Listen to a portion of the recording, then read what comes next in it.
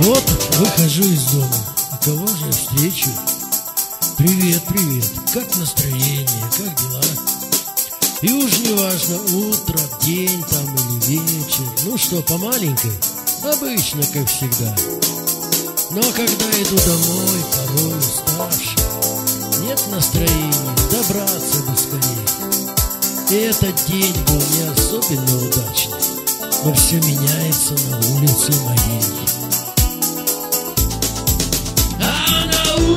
А на